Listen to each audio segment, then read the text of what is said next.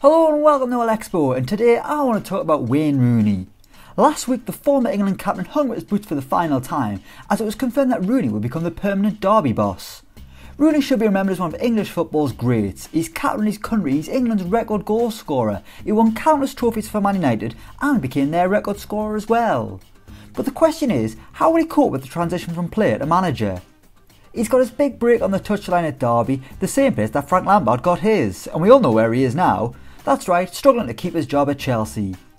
But back to Rooney, and I think we're all curious to see how far he can go in management. But what I want to know is, will he make it all the way back to Old Trafford? Well, I've decided I can't wait any longer, so using Football Manager 2021, I'm going to see what would happen if Wayne Rooney became Manchester United manager. Using the editor, he's left Derby and taken Ole Gunnar Solskjaer's place in the Old Trafford dugout.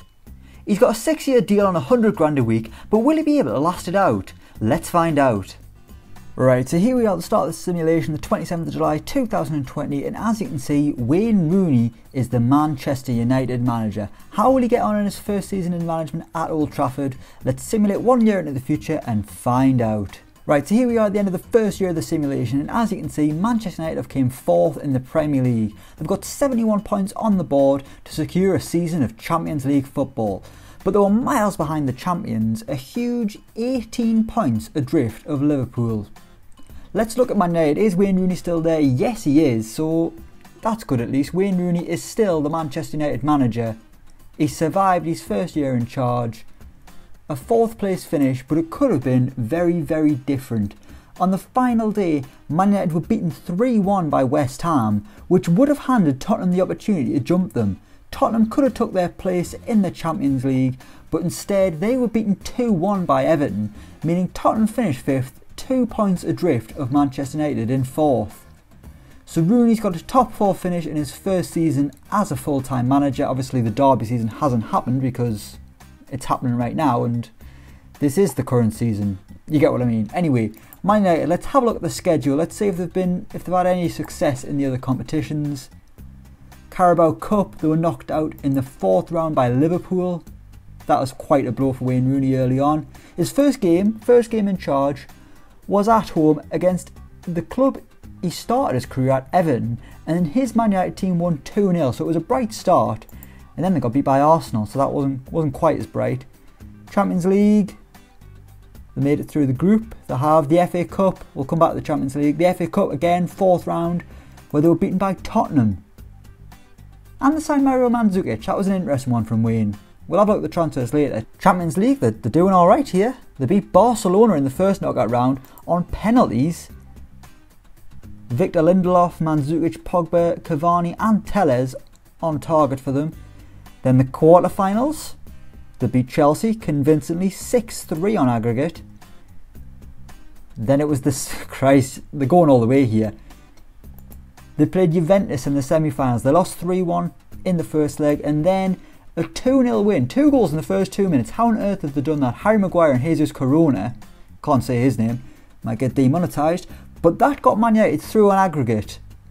3 3, the away goal in Turin, Edinson Cavani's goal in the 34th minute is what put Man United into the Champions League final. It's good, they've only gone and bloody won it. Wayne Rooney, in his first season as a manager at Manchester United, no less, one of the biggest clubs in the world, has won the Champions League. This is the Dan levels of epic. And more importantly, they've done it against their rivals Liverpool. If Wayne Rooney wasn't going to get a statue outside of Old Trafford, he certainly is now. One season in management, one Champions League, and he did it against Liverpool. It went to extra time, and Mason Greenwood got the winner in the 114th minute. So that's a pretty successful first season for Wayne Rooney. Top 4 finish and the Champions League. The first time Man United have won the Champions League since 2008. That is incredible. Let's have a look at his team, see what system he's been playing. Standard 4-4-2. Is that surprising? It's quite attacking actually. Marcus Rashford on the left wing, a midfield two of Bruno Fernandes and Paul Pogba. Imagine if Ole Gunnar Solskjaer was daring enough to go for that. I don't think Man United could cope. They've got to have Fred and McTominay in there somewhere. Cavani and Martial up top together, like Ant and Dec. I need to think of more duos. Laurel and Hardy, Morecambe Wise, Colin York. They have scored a fair few goals. Edinson Cavani's got 33. That's a fantastic first season for him in England. We'll scroll down. Donny van der Beek barely played, feels alienated, so not much has changed. Um, I'll have a look at the transfers. Dean Henderson's ended the season in goal, but of course it was David De Gea in between the sticks. Luke Shaw's leaving. He's got a deal to join Lazio, so that, that's sad for him. But Alex Telles has done well.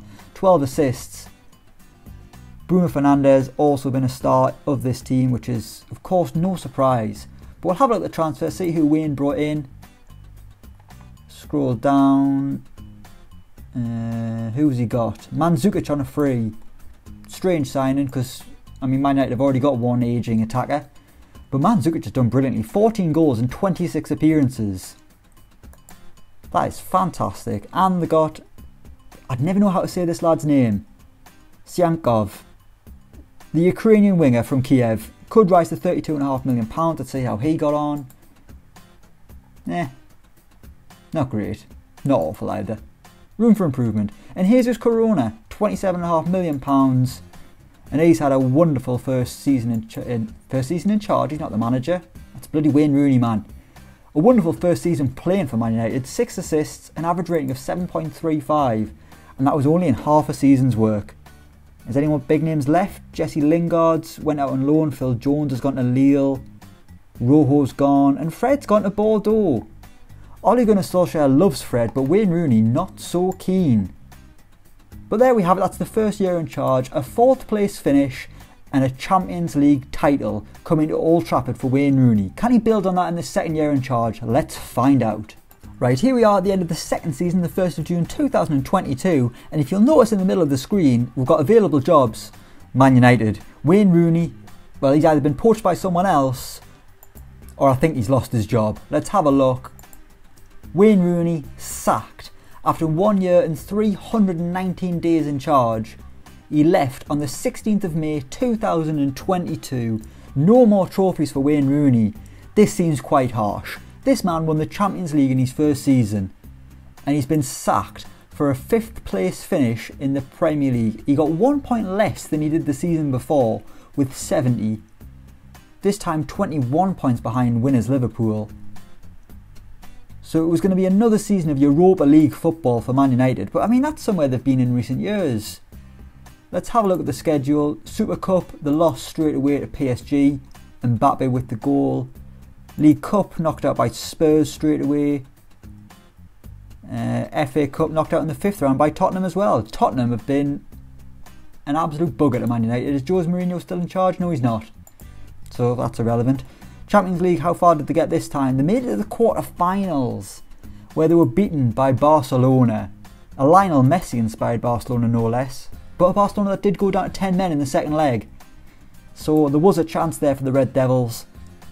But still, that seems very harsh. A harsh sacking. Quarterfinals of the Champions League, I mean, Man United don't often do well in the Champions League nowadays. The Europa League club. Are they? No, that that's harsh. I mean, they are a Europa League club right now, but that's that's that's by the by. I mean, they won it last season. Surely there's got to be a bit of they've got to give Rooney a bit of time to build here. In the Premier League, he was 11 points shy of Man City, who came fourth. So Champions League football was never really on the horizon. Let's have a look at who we brought in. Spent 147 million pounds. The most expensive arrival being Eduardo Camavinga, I mean, that's a great signing. They also added Guillermo Arana from Sevilla, could rise to 51 million. That's that seems overpriced, but whatever. Other names, Hans Hateboer. No star names. There's no Sancho. There's no Haaland arriving. But I mean, Rooney was probably thinking, you know, we won the Champions League. We don't need to add that much. Going out, they got rid of Luke Shaw. Juan Mata left. Jesse Lingard went to China. Fosu Mensah left. Daniel James sent out on loan to Villa. They sold Nemanja Matic. They sold Eric Bailly. Mario Mandzukic went out on loan. Wonder why they signed him in the first place. He did brilliantly and then they just got rid of him. Andreas Pereira sold. Sergio Romero sold. Um, that seems to be it out of the big names. Let's have a look at the team. Has he stuck with his 4-4-2? It would appear he has. Can't really tell from that. We'll go and look at the last game they played. which was a 3 1. Christ. Wayne Rooney, his final game in charge of Man United was a 3 1 win over Nottingham Forest. I believe that's right, the 15th of May. And he got sacked the day after. There's no justice in the world. Looks like it was a 4 4 2. A very different Man United team as well. There was no Pogba didn't play, Bruno Fernandes wasn't there, no Martial, no Rashford. But Dillon Hoogewerf was there. He was a 19 year old Dutchman. Scored on his debut, so well done to him. Want to watch in the future, maybe. But let's have a look at Man United, see if there's been Marcus Rashford, a great season. Not as many goals for Man United, clearly. Martial was the top scorer with 20. Cavani only got 9 this time, 21 appearances off the bench, so he didn't feature as much. Bruno Fernandes had a great year. Still some strong performances from Man United, but not enough to finish in the top 4 and not enough to keep Wayne Rooney in the job. Oh, I'm quite disappointed in this. I thought he would last more than two years. Well, I thought he would either last half a season or he would do brilliantly. You know, most times Solskjaer on this game, he lasts forever.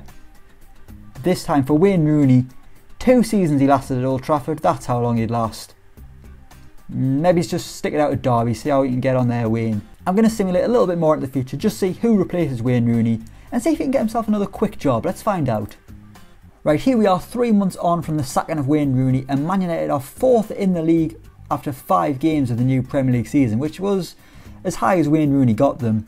They've got 12 points on the board, 4 wins, 1 draw, 3 adrift of Tottenham in first place. Mason Greenwood the top scorer with 5 already.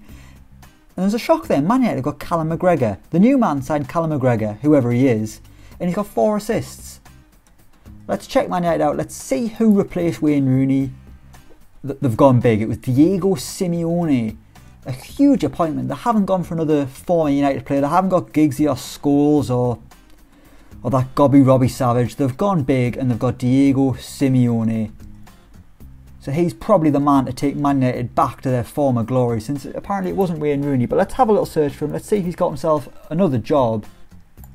He hasn't. Wayne Rooney, available on a free, an unemployed manager. He's just sat outside the job centre waiting for someone to pluck him from obscurity. Will that happen? Who knows? Sorry, I never noticed this at the time. Tactical style, Route 1. Come on, Wayne, you're better than that. We will leave it there.